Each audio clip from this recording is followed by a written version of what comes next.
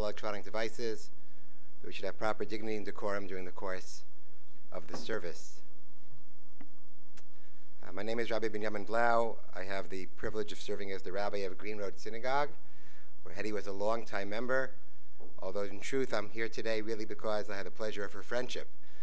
For, uh, as for the last five to seven years, every Thursday, we spent time together, and I grew to really appreciate her and will miss her terribly. We're going to start off with a parak of Tillim, a chapter of, from Psalms. I'll do parak of Gimel, the 23rd chapter. I'll read it in Hebrew and then uh, translate it into English. Mizmor David, Adonai roi lo exor, binos desha yarbiteni am emenuchos yinaleini, nafshi yishovev, yancheni b'maglei tzedek liman shimo, gam ki elech b'geit al maves lo ivara ki ata Shiftecha mishantecha hema yenachamuni, tarok lefanai shocha neget zoriroi. Dishanta b'Hashem en roshi kosi rivoya, achto v'chesed yirdefuni kol yemei chayai. V'shabti veis Adonai liorech yamim. A song of David, the Lord is my shepherd, I shall not lack. God makes me lie down in lush pastures. God leads me beside tranquil waters. God restores my soul and guides me in righteous path for God's name's sake. Though I walk through the valley of the shadow of death, I will fear no evil, for you are with me. Your scepter and staff, they comfort me. You prepare a table before me in full view of my adversaries. You have anointed my head with oil, my cup overflows. May only goodness and kindness pursue me all the days of my life, and I shall dwell in the house of the Lord for length of days. We have gathered today to pay our tribute to a loving mother, Bubby, great grandmother, a tireless member of our community, Heddy Small, Chaya Batsvi Hirsch. I'm going to really just say a few words. Her family who she was unbelievably close with and incredibly connected to, is going to deliver the main eulogies, just share a little bit of thoughts and perspective, but to turning it over to the family. To say that she was a survivor only tells part of the story. It's true, she was a survivor. She overcame the horrors of the Holocaust. She came to this country, and she and her beloved husband Joseph, they had nothing. They were penniless. They didn't have an education, they didn't know the language, although she spoke many languages very well. And nonetheless, she survived. She was incredibly strong, and she persevered, and she connected to her faith the entire time, which is simply incredible. But more than a survivor, I would have called her a builder.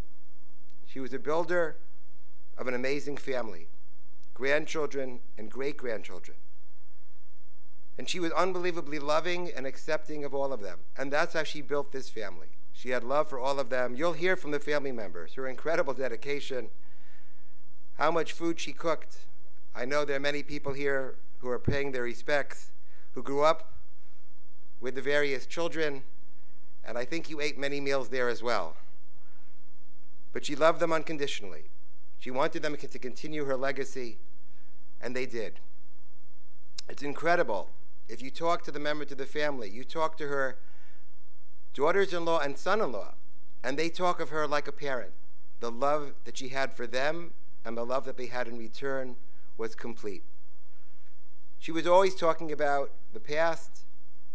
When I'd visit her, we'd often reminisce about her upbringing, about her home, but her focus was on her children. You went to visit her room and you saw all the pictures, and she was excited. She was always excited, and she was incredibly excited when they came to visit. It was an unbelievable bond. I do want to mention, and I, he may be upset with me, but I, I'll say it anyway. All of the members of the family were wonderful to her. But Steve was in another, another, another level. I have told him many times, I hope I am as good a child to my parents as he is, as he is and was to his parents. Not a day went by that he did not visit them. Not a day.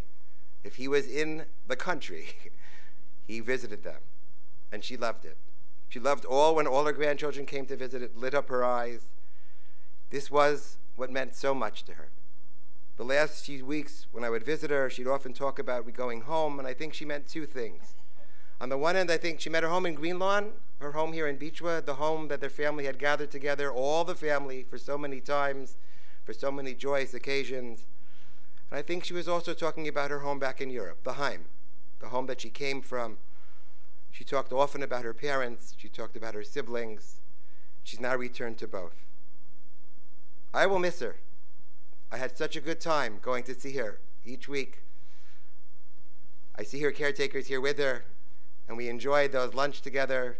She always wanted to know if I had eaten. I actually had to come late because if I came during her meal, she talked to me and she wouldn't eat. So I started coming a little later, not to interfere. But it was my privilege to get to know her. It was my privilege to consider her my friend, not just my congregant.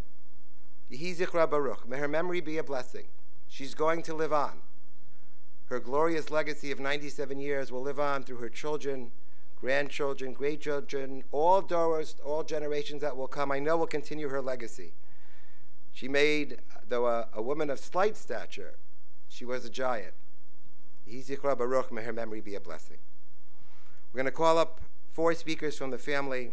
First, two of her children, Marion and Steve, and then two of her grandchildren, Danny and Elliot, to say a few words.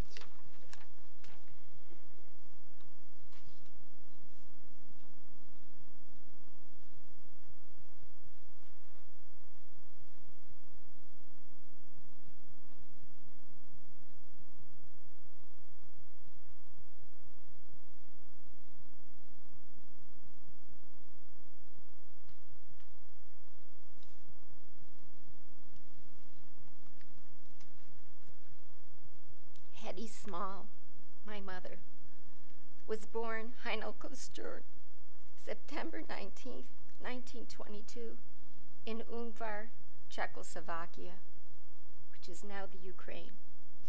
She had three brothers, one older and two younger.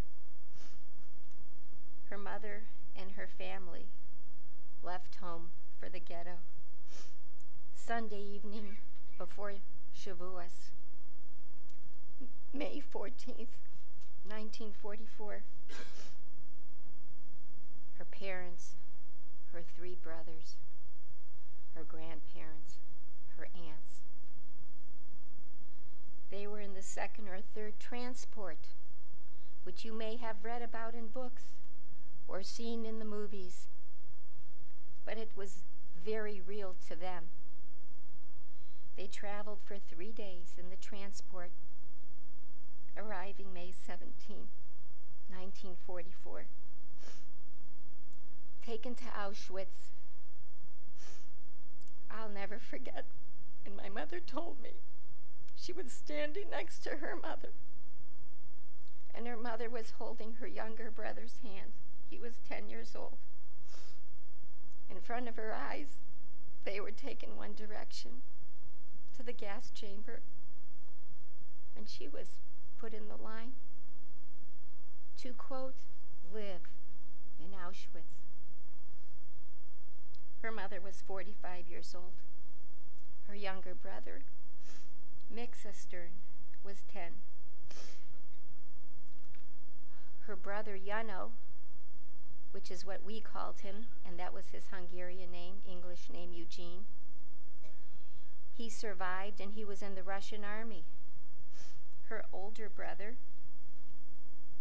also survived and then went to Russia. Her father lived in Auschwitz for a while, but I know she told me he got sick and was unable to survive and died there. My mother was there in Auschwitz for over a year. A good friend of hers from 1944 and 1945 in Auschwitz was here in Stone Gardens.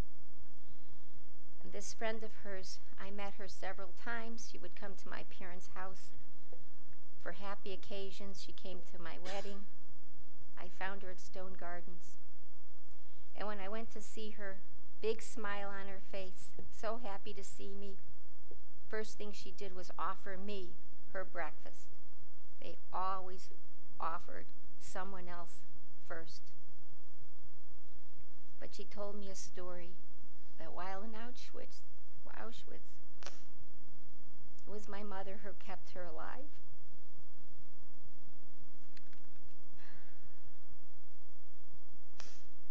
My mother remained in Auschwitz and she was liberated May 8th, 1945.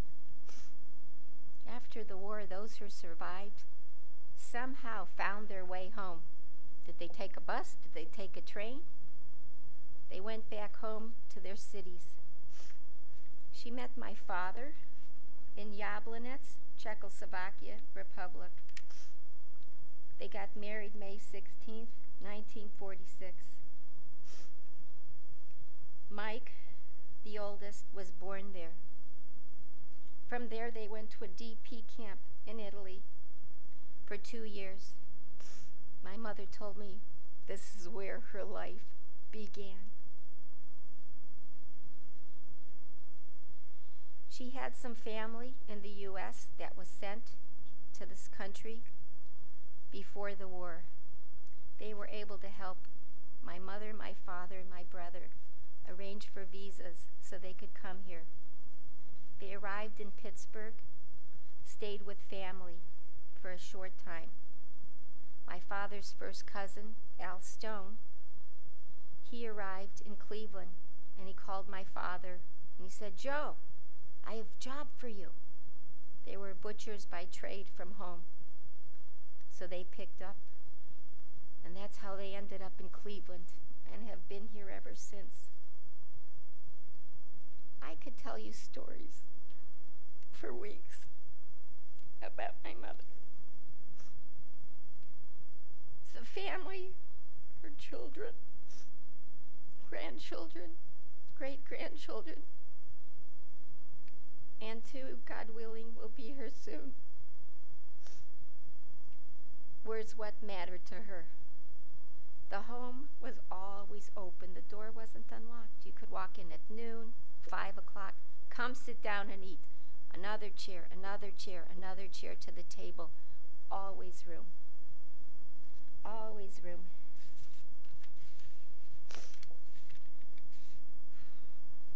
My mother was very fortunate to have us three children 11 grandchildren, two great grandchildren.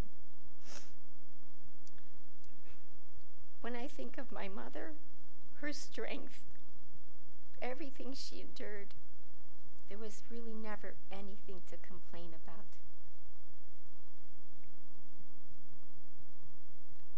My mother gave me a gift of family. She gave me my two brothers, their children, and their future grandchildren. It's a gift that I've been so lucky all my life to have. When I to overnight camp when I was 10, she wrote me letters. Marion, are you eating? Are you washing your hands? Are you keeping clean? Are you okay? Exactly her writing was in the words, the way she spoke. When I went to Israel when I was 16, she wrote me letters, the same thing. Here's what I'm cooking. Are you okay? Are you eating? So 50 years later, I still have all the handwritten letters she wrote to me that I will always treasure. I'm so honored to be her daughter. I will continue to tell her story for the rest of my life to my children, to my grandchildren, and I know that they will carry her legacy on. I see her strength in my two children.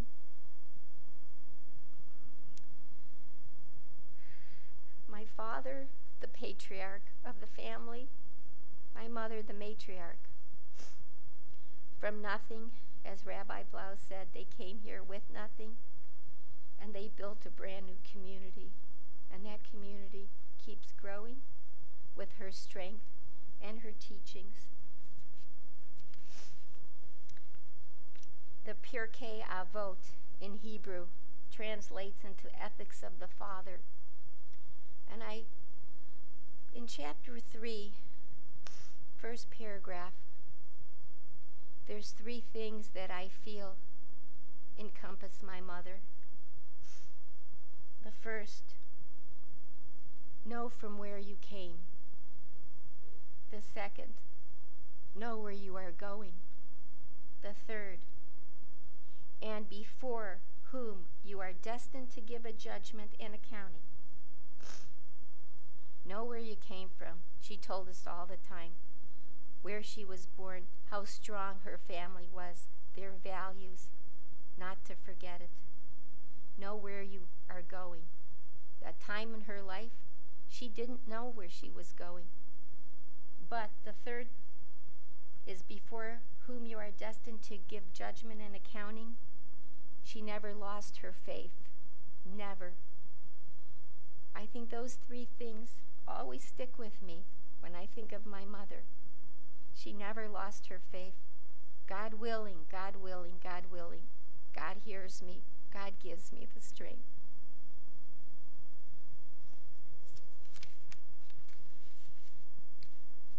It's going to be difficult. It was difficult when I lost my father. But he's with me every day. And the same with my mother. This last week, when she became ill, we thought it was a slight case of pneumonia. But when Steve called me the next day, I was here. I was always here as often as possible. As soon as my kids were born, I brought them here. They learned all about their grandparents. They got to spend so much time with them. They got to spend time growing up with my brother's children, both brothers' children, attending each other's birthdays, bar mitzvahs, bat mitzvahs. Every occasion, every summer that we could spend together, I brought them here. So they could learn what a family is, what the meaning of family and strength and value is. I'd like to thank the rabbis who have been so supportive of my mother throughout the years. I met Rabbi Blau the first time planning my father's funeral. But that meeting has led to seven, eight years of a deep, deep friendship. There was just such a connection there, the way he listened to me and to Steve and to our family. And I, I so appreciate you visiting her every Thursday. I know I would time my calling. I knew exactly where she would be each time. And so if I happened to call a few minutes early or late and Rabbi Blau was there, I would say, go ahead, go ahead. I'll call you back, not to take away the time. Rabbi Gans, you were a good friend to her. You visited her. She always told me when you brought your children how beautiful they were and just lit her up her whole life. It was not an easy transition going to Myers. Green Lawn was her home, and she often said, Take me home, take me home. And again, I know what that meant. It meant going back to Green Lawn where her family was, and back to her family, her mother, her father, her brothers. We tried to reassure her, Ma, you live in apartment 204. That's where home is. That's where home is. But we knew better.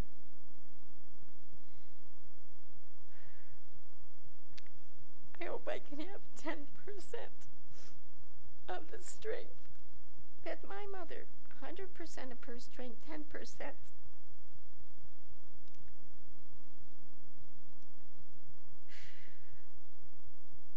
She was the very best. I could hardly wait to come see her all the time. She wouldn't be sitting inside waiting for us. She'd be outside, front door. When we'd go visit her in Florida, she'd be almost down the street. Where are they? Where are they? As soon as we'd get there, she couldn't wait to hug us.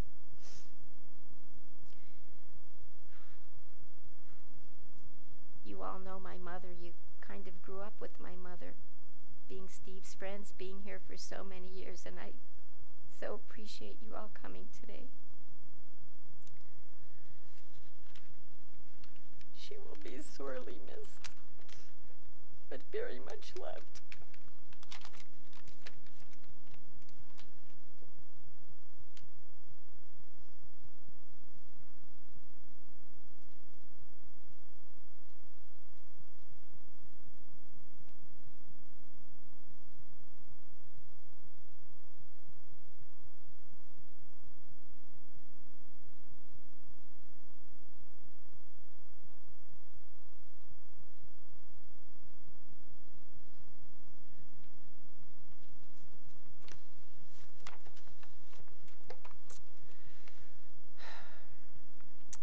Jewish tradition holds nothing happens by chance.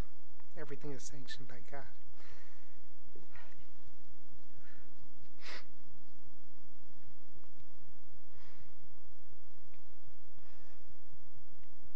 It's no coincidence that Rabbi Blau is here today. He's been with my mom every Thursday at this time. You truly embody the meaning of the word.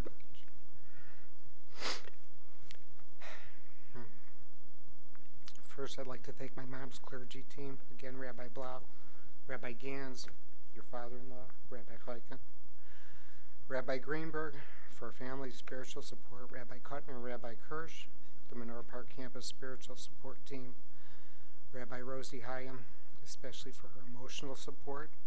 She sat with my mother, held her hand the entire service at my father's funeral. She converted a family member, acted as the matchmaker my daughter Melanie. In my matchmaking book, you're batting a thousand. And by the way, Elliot is still single.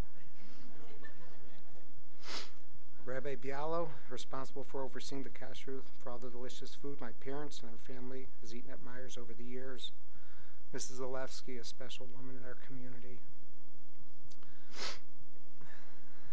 My mom turned 97 this past September, which is quite a lifetime. However, her life seems to me like several different lifetimes based on all her experiences. As my sister said, she was born in Czechoslovakia in 1922 soon after encountering the worst persecution solely because of her religion. And starting her life anew after the war, when she, my, she met my father in 1945, married in 1946, and in 1947, my brother Mike was born. Then starting another life when they moved to Italy in 1948, and then another as they moved to America in 1950. After enduring such horrible persecution, each of these events made her feel life was starting anew. There are a thousand incredible stories I could tell you about my parents' life. There's probably a thousand more I don't know about. Today I'll tell you two stories one old and one new.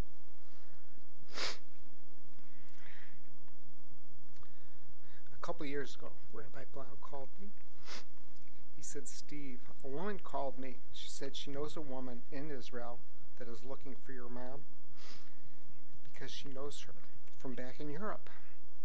He says, I don't know any of these people. Here's the number if you want to call. Of course, I had to call.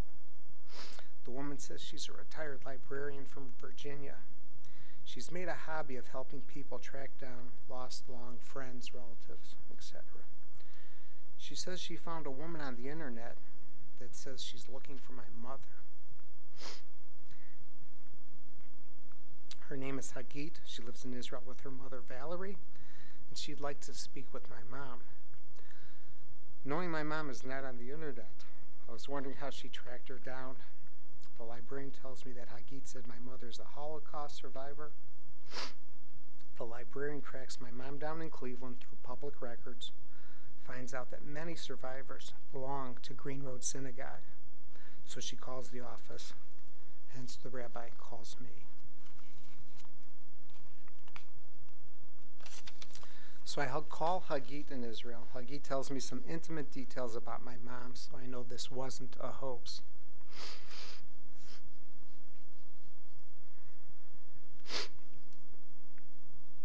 Hagit tells me her mother, Valerie, has told her stories.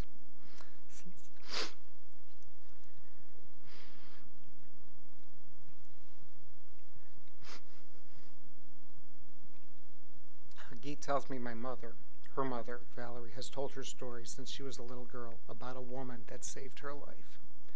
And she hasn't seen her since soon after that. Valerie was in Auschwitz in the same barrack as my mother, arriving a few months after my mother. One day during a lineup,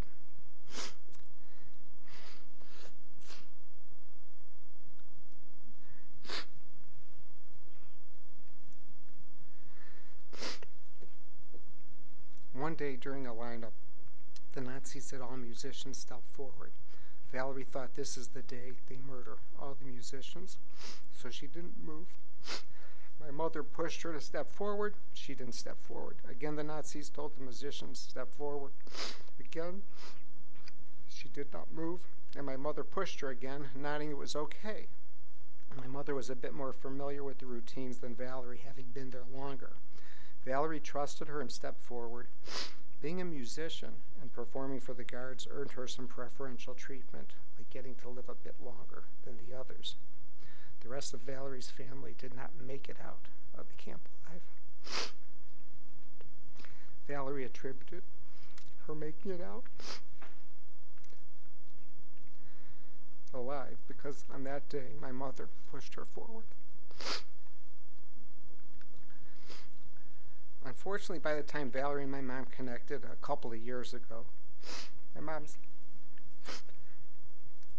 memory had faded a bit and she didn't remember her.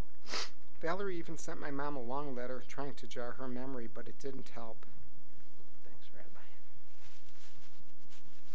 We tried a few more phone conversations, but nothing. Last April, I received a text from Hagit that her mother Valerie had passed.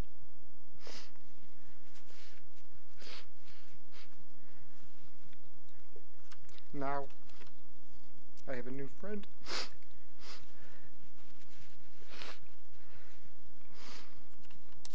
Now I have a new friend in Israel named Hagit. We text each other holiday greetings, invite each other to visit each other. A story that happened 75 years ago. And I just find out about it two years ago. Somewhat brighter note. My mom has badgered every female born in this family since birth. When are you getting married? Why aren't you married yet? By the time my daughter Melanie was nine, she felt like an old maid. When my mom fell ill a week and a half ago, all the grandchildren came to town to see her. Last week, my mom hardly opened her eyes or spoke. When I said Alex was coming in with his wife Jill, she smiled when I said the word wife. It was incredible. When Melanie arrived and was speaking to my mom, who hadn't opened her eyes, spoke, or smiled all day, Melanie reminded my mom, saying, Bubby, I'm getting married. And she held up her ring, saying, Here is my ring. My mom's one eye popped open for a moment, looked right at the ring. She flashed a quick smile. We all looked at each other and laughed, knowing my mom understood completely.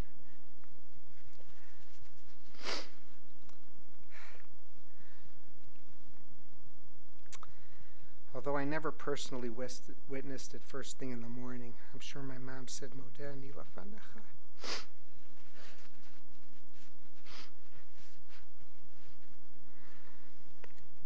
Thanking God, she opened her eyes for another day. Because she thanked God at least 20 times a day. Something you think would be difficult for a survivor to do. But that's who she was a survivor. She never made herself a victim. 30 years ago, my parents bought a condominium in Miami. No one could believe they actually did it because they never treated themselves to anything. Their entire focus, their entire lives, was on the family. Their children and grandchildren have spent practically every winter break since then vacationing there, with my parents being there up until about the last 10 years when they could no longer make the trip. It was then that we all realized they did not buy it for themselves, but for all of us so the family could have a place to be together.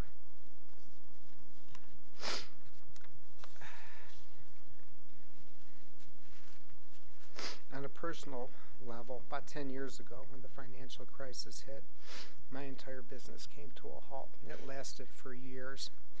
It didn't take long for me to realize there was not just a silver, silver lining to it, but it was a real blessing because it gave me the time to have lunch with my parents each and every day.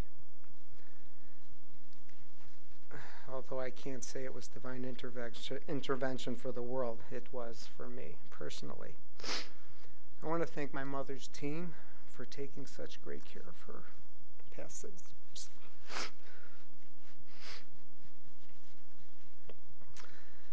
Jocelyn, Brenda, Carmen, Lydia, Zoe, Zara, Shurat, and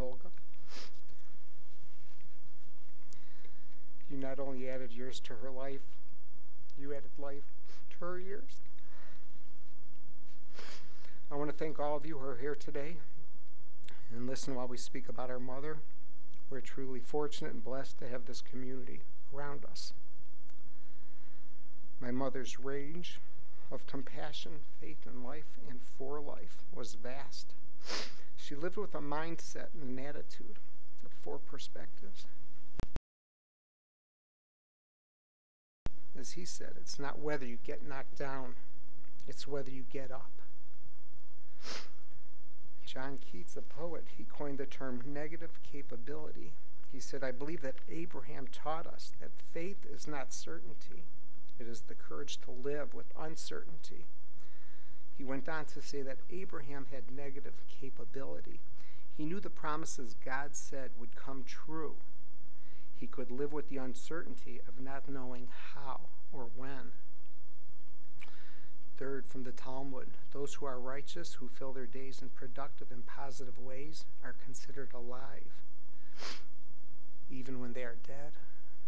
While those who bring toxicity and negativity into this world are viewed as dead, even when they are alive.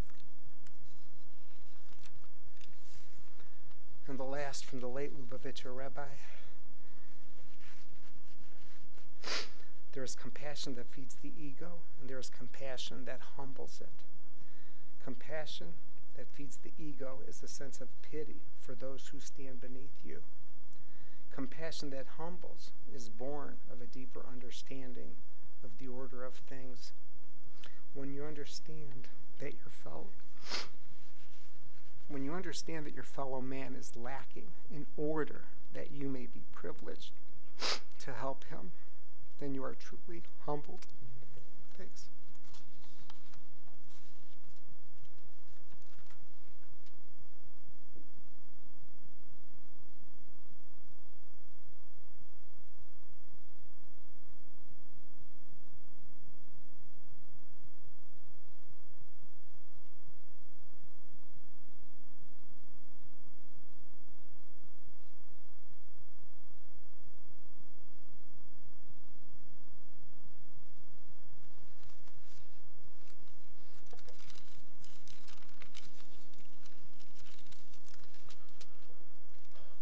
usually write things down. I, I speak from the heart, but over the last week, when I was thinking about my grandmother, there were so many thoughts, stories, things that I knew if I didn't write it down, I, I would be up here um, all day uh, speaking.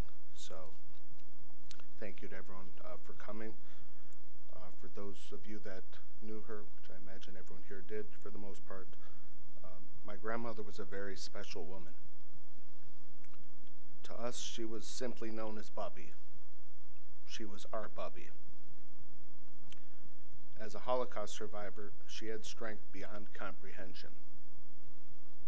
While I spent so much time with her over my life, you know, she never really talked to me or we never talked about those days. But she would always say to me or show me, you know, her tattoo that she had on her arm and say, do you know what this is? Just so I knew, even from a very young age, where she came from, what she went through. And I would always say yes. She was kind and generous. And I'm going to echo a lot of things my aunt and uncle already said, but she cared so deeply about all of us, her family. That was her mission and purpose. I was fortunate to grow up right around the corner from her. She lived on Green Lawn. I grew up on Halcyon. And I got to visit my grandparents almost every day.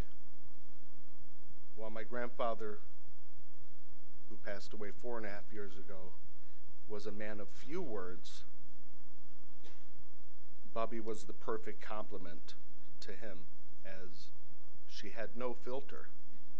Um, not, you know, not in a bad way, but anything that crossed her mind, um, she spoke, it came out of her mouth. That, that's how she was. She could talk to you for hours, asking no, not only about yourself, she would ask every question under the sun How's school? What are you doing? Everything. And then she would go on to other members of the family. What's your father doing? Did you talk to him? How's your mother? How's your brother? What's he doing? Does he work? Is he at school? She went through everyone. Every time I saw her, it didn't matter. There was a battery of questions, but that's just how she was because she cared. She cared so much about all of us. I remember one time I visited her in Florida. This was maybe 13 or 14 years ago, and we were having lunch where she lived. There was a restaurant, and it was just the two of us. There was no one else in there. And the waiter came over, he takes the order, and he had kind of an accent. So the way Bubby was, where are you from? He had to, she had to get his life story. And I think they spoke while we were eating lunch. I mean, he stood there. Thankfully, there was no one else in the restaurant for about an hour and a half, getting his whole life story, sharing hers, where they grew up, similar places, speaking in different languages. And I remember at that time, I asked her, I said, How many languages do you speak? And she never would talk about herself. You know, she didn't brag. It was just uh, about five languages. I'm like, this is unbelievable. Who speaks five languages? But she did. I remember another time a friend of mine uh, came to visit me in Cleveland. This is probably about 20 years ago. Again, same story. What's your name? Where are you from? Where's your family from? And he was also from a European background. And I, I remember vividly. She was like, Oh, you're a Magyar?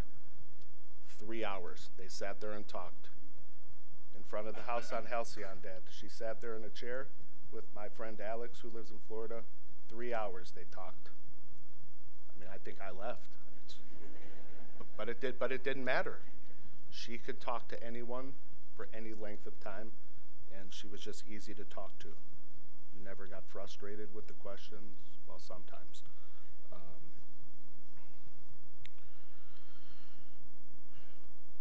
one thing we always joke about uh, with some of us in our family, um, you know, if she would be in a store, it could be a grocery store, um, she would just call out, uh, "Hey, lady, how, how much is this?" There was no waiting in line, there was no excuse me, and we could say it to each other now. It's uh, it's you know a tribute to her. But if I say to my wife or my brothers, you know, "Hey, lady," we, everyone knows what we're talking about. It's just how she was, not in a bad way, but it's how she spoke to people. She was our bubby.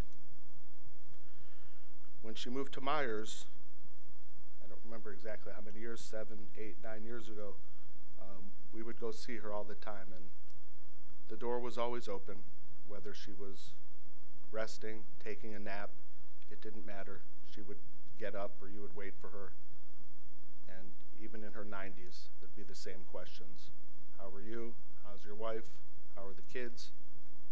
Did you talk to your father today? How's your mother? What are your brothers doing? Nothing changed from 30 years ago to today. It's the same questions. We would go there Friday nights for dinner. My kids were six and almost eight, grew up going there Friday nights so many times. Every holiday, whether it was Pesach, Rosh Hashanah, we went to be with her. We didn't have to, we wanted to. And we knew her family was so important to her that to see them, to see us, it lit her up even when her health was failing. One thing you, you mentioned, Steve, about, you know, asking uh, about Melanie, when she getting married. My son, Oliver, I think when he was five, she started asking me, when, when uh, is his bar mitzvah? Are you, are you planning? Where is it going to be? What shul? And I would have to say, Bubby, he's only five years old. We, we have plenty of time. But she looked forward to those milestones, and it was important, even in her last years. She was so happy and proud to see my children. My daughter, who is six, she was born on September 19th, the same birthday as Bubby. They share a birthday. And I remember when she was born and when she heard the biggest smile you could ever see on her face. And every year, we would always say, okay, it's both of your birthdays. And my daughter, who's six, she knows that she shares a birthday with her. And she asked me the other day, who am I going to share a birthday with now? She loved all of us more than we can ever imagine. So when she was in the hospital last week, I know I got a text from Steve, I think it was on Monday night, that, you know, she was in the hospital. You know, we think it's a bit of pneumonia. And, you know, at 97, she's been in the hospital, you know, several times. Um, you know, at first you're certainly concerned, but we knew she had bounced back so many times. But after a couple days, we knew this time was different. Um, I was at the hospital every day, sometimes twice a day. I would go, after I put my kids to bed, I would say to my wife, I'm going back to Hillcrest to be there. And when I would come home, she would ask, How is she? The same. And she would ask, Who is there? And every day for a week, I said, The same people my parents, aunts, uncles, brother, sister. She came here from Los Angeles. My cousins, they came from California, New York, Chicago. We were all there because we cared for her, not because we needed to be there. No one told us we had to be there, but we wanted to spend time with her because we cared for her so much. It still didn't compare to the amount that she compared or she cared for all of us. We will all miss her. We will all remember her as the kind, loving, generous person she was to all of us. And I'll just finish by saying, we love you, Bubby, and we will miss you.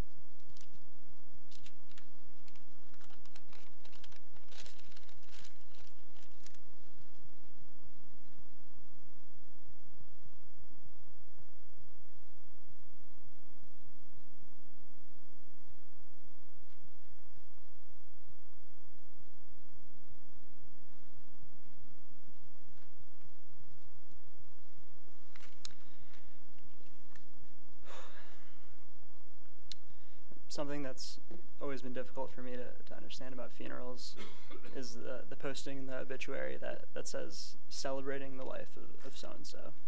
Celebrating just sometimes seem like maybe not the, the appropriate word to be using. You know, when your, your friend or family member loses their 60-year-old mother to cancer, you know, it's tough to use the word celebrate to really describe the occasion because they had so much living left to do and so much more to see. I, I view, you know, it's a tragedy as I think about Bubby and, and celebrating her life, you know, I truly see this as the most fully lived life that is 100% celebrating here today. She had a huge loving family who were all with her till the very end. And for 97 years, she lived a healthy life. You know, right now, who, who signs up for 97? I'd sign that dotted line right now. when I think about what Bubby meant, not just to me personally, but to all of the grandkids, is that she just so naturally did everything the right way. She raised my dad, Marion, and Mike just to know that family is everything. It came so effortlessly, and it was instilled amongst all of us, all the grandkids. You her self anxiety when they, they got the apartment in Florida, it was just so we could all spend the holidays there with them and just have that time just with them and ourselves. Otherwise, you know, we wouldn't see them all winter. And, and because of this, we have our absolute favorite memories with them. there was always enough food around, whether she knew anyone was coming over or not. And there we always were around the table. Probably taught us exactly how to speak our minds, although sometimes could have used a little filter. she, she was the first to sell her grandsons we weren't eating enough, and granddaughters they were eating too much. but it, it's in these moments that you teach us generationally how much we all really mean to each other. the really crazy thing is about her life is that she was able to naturally just teach us all of this, having gone through what she did in the war. And, and it's something she never really talked about unless you asked her to, and, and she was glad to then. But I don't think it was anything to do with comfort with Bubby. I think she was just so proud of the miracle of a life she'd put together, and that was in the past to her. Otherwise, but you know, our family having gone to Auschwitz to visit the other year, and, and just seeing the conditions you li- she lived in for a year, you know, you really have to see to know, and it just provides a ton of perspective to my, to my family and ourselves. It's you know, we all we all cry when they run out of hot water in the showers at, at Lifetime or the gym, and you know, Bubby went a whole year without shoes or a jacket. And Poland winters are, you know, they're similar to, to Cleveland. We all know how cold it is. But, you know, it makes you think the things to complain about in the world, you know, it just provides perspective there. I think every day we just continue to see her miracle just extend past our furthest beliefs. You know, I got a call actually like late last night from um, my friend Brock Hirsch, and he says, you know what, Elliot, I always tell people every day that, you know, if your Bubby hadn't made it, I wouldn't be here today because Bubby wasn't here. My dad wouldn't be here. If my parents weren't here, his parents wouldn't have met, and then he wouldn't have been there. And, you know, like, it's just an example. Like, Bubby's reach, you know, how far does that extend? Who's it impacted? It, it's, you know, past her wildest dreams now. Um, my cousin Julie Viroff, who she was with us all week as well, she, she wrote a few words that I wanted to share as well. Um, she had to go back to San Francisco for her uh, ultrasound for the baby to be soon. Um, but this is from Julie. Um, I wish I could be there in person to celebrate and remember Bubby together with all of you. There's so much to say, but I'd like to focus on two gifts that Bubby gave me and that I think reveal something about the person she was. In the days before she passed, our family spent what might be to an outsider seem like an unusual amount of time talking about the food Bubby used to make. Stuffed cabbage, veal stew, spaghetti with sweet meat sauce, noodles and cabbage, jello and fruit. The memories of her food are indelible in part because it was all truly delicious, but more so because of what it represented. Her deep love for her family and her commitment to bonding us together as a community. When Bubby cooked, she made enough so that anyone in the family who happened to stop by unannounced could eat. Her food didn't just sustain our bodies, it gave us an excuse to be together. We'll probably never be able to eat her signature meals just right. Make them right just right. But the relationships built around her kitchen table are the real legacy. She gave me the gift of a loving, extended family that shows up for one another, and for that, I'm so grateful. Bubby is also one of the primary sources of my sense of purpose in the world. Growing up, she would show me the numbers tattooed on her arm and ask that I tell others about what happened to her and her family in the Holocaust. In making that ask, she taught me that knowing is different from caring, and that caring is different from acting. I have framed in my house words from Micah in Pirkei Avot, do justly now, love mercy now, walk humbly now. You are not obligated to complete the work, but neither are you free to abandon it. When I look at those words, I think of Bubby. She wanted us to celebrate the opportunities, freedom, and safety that we've been able to enjoy in our lives, while also remembering that those same joys were stolen from her and her family and continue to be stolen from others around the world today. In asking me to grapple with those truths, she pushed me to think about my role in repairing the world's injustices. I'm grateful to her for doing so, and I hope that through my choices in life and career, I can honor her ask and her memory. We love you, Bubby.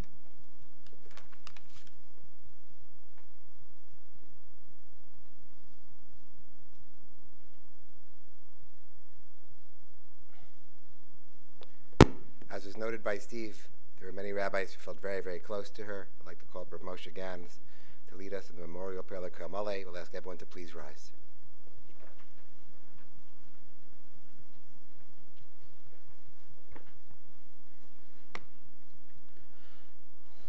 אל מולי רחמים, שויכן מרוימים,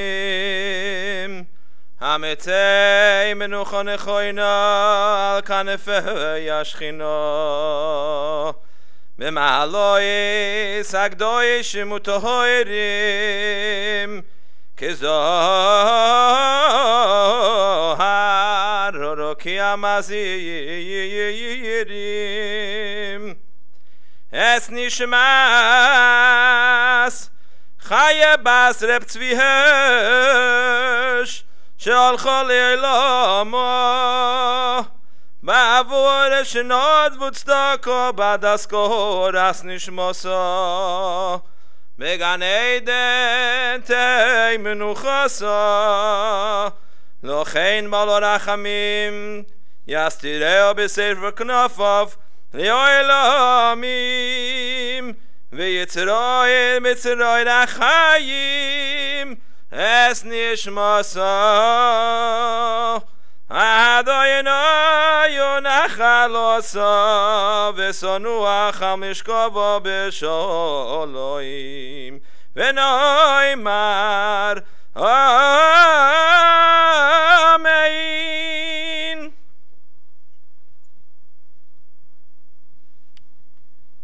You may be seated.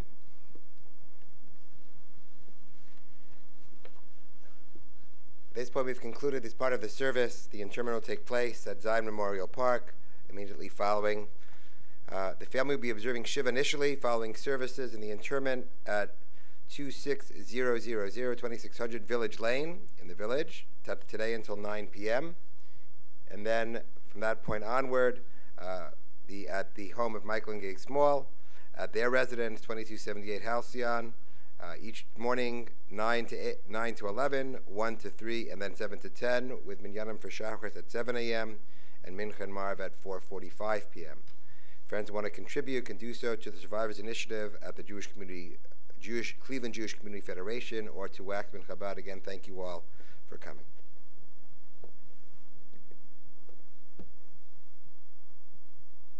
Thank